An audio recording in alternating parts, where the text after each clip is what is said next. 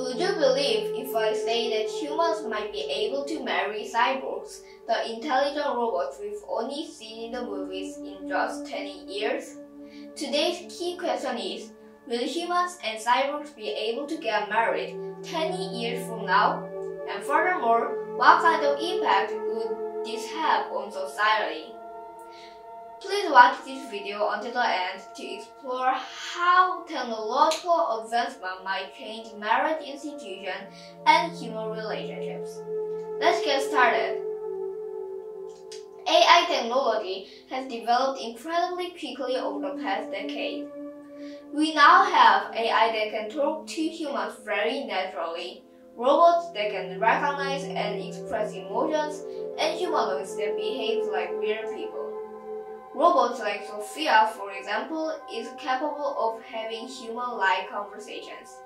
If robots can also feel emotions so that it can empathize, then marriage with robots could become possible.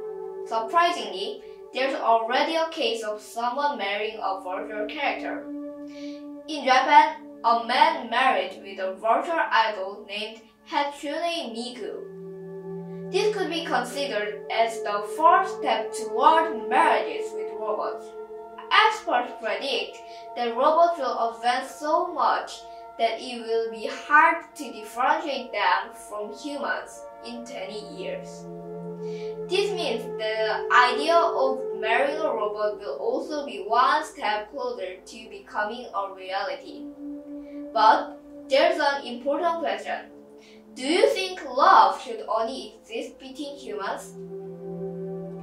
The first challenge is robot rights. If robots cultivate self-awareness, will they have the right to refuse marriage or to seek a divorce? Or will their decision be considered as a mere programming result? Ultimately, we need to ponder whether society is ready to see robots as a being that is equivalent to human. The second challenge is population. Many countries are already having a hard time with low birth rates. If human-cyborg marriages become common, the number of children born in traditional families may well decrease further. If this problem isn't solved, it may cause existential crisis. Another issue is that this type of marriage would change existing marriage institutions. If love is the main focus of marriage, marrying robots could redefine the concept entirely. So, how can we solve these problems? One of the solutions would be using biotechnology. For example, with artificial wombs and gene editing, human-robot couples could give birth to a baby. If these technologies are commercialized, this could help solve population issues. Another solution is creating a new legal system for human-robot partnerships while keeping traditional marriage systems. This new system will create a different kind of relationship that is similar to the marriage. I think it will help minimize the ethical dilemma.